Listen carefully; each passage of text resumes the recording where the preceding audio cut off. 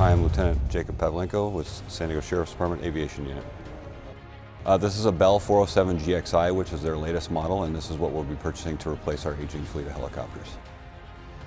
So our older helicopters, the MD-500s, um, with technology advancing the way it is, uh, there is a lot more mission equipment that these flight crews will need to uh, utilize during their shifts, which makes, makes our job more efficient and effective.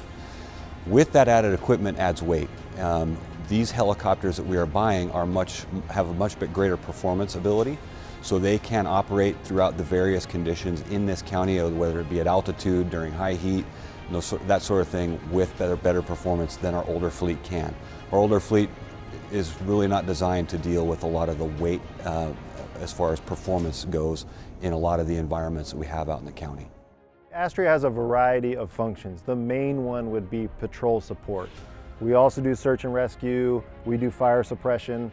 Patrol support is our bread and butter, which is the purchase of this new helicopter uh, enhances that support.